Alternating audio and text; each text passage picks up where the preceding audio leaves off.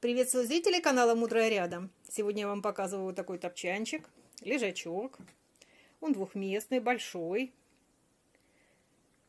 Он сделанный снова из обрезков, отходов, остатков. И если вам интересно, вы сможете посмотреть это в моем видео, если посмотрите его до конца. Если вы счастливый обладатель каких-либо досок, обрезков, или, может быть, старых ненужных полочек со шкафов. И из них, и еще из некоторых вещей, которые вам покажу, можно будет смастерить типичный тамча. Вот эти кажутся, кажущиеся волночки практически незаметны, когда на них лежишь.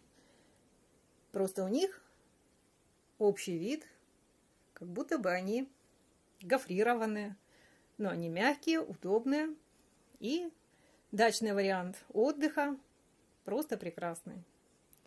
Также здесь использованы куски фетра. Куски можно использовать ковролина, можно использовать джинс, но если он оверлочен, или, или любую ткань, которая не обтрепывается, из которой не, не вылазят нитки. Или если это будет у вас ткань целиком. Здесь я четче хочу показать, использованы именно куски. Куски натянуты плотно так, что их сшивать не пришлось, и щелей при этом нету. Итак, берем доску. И прямо в торец степлером прибиваем ковролин, джинс или любую ткань, которая не обстрепывается. По краю оставляем небольшой кусочек для того, чтобы позже завернуть.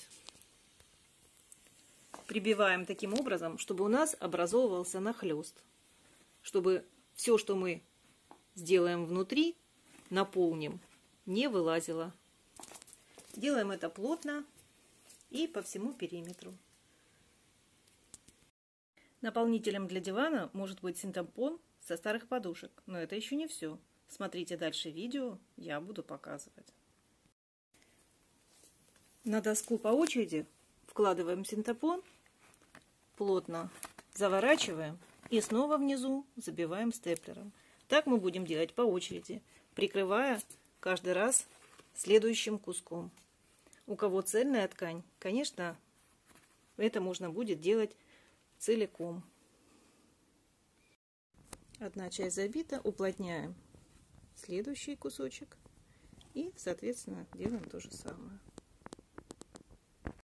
Торец данной конструкции мы тоже затянем и пришьем степлером. Ну, вот такой результат. Ну, теперь снова буду удивлять. Берем курточки с утеплителями и вырезаем из них нужные куски, при этом не снимаем ткань. Если тонкое складываем вдвое, как сделала я, пойдут в ход даже рукава и капюшоны. Просто надо аккуратно и ровно делать форму. Также можно использовать поролон, но если нет ничего из того, что было перечислено выше, можно использовать трикотажные изделия, свитерочки, кофточки.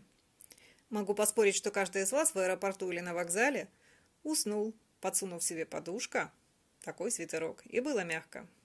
Такой топчанчик будет чуть жестче, но все же мягче, чем в вагоне.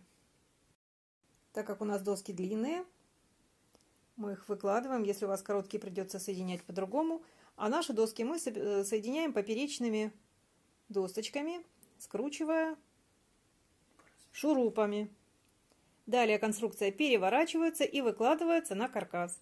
Если такового нету, можно поставить даже на деревянные строительные поддоны. Контур поддона можно декорировать по вашему вкусу. Такой топчанчик мы сделали и с нашими друзьями у них на даче. Они очень довольны, потому что так как и мы не, хотят, не хотят вкладывать большие деньги в дачу, а делают все по минимуму. Всем, кому было интересно, спрашивайте, что-то отвечу в комментариях. Подкидывайте свои интересные идеи. Я своими и так делюсь. Всем спасибо за просмотр и всем пока-пока.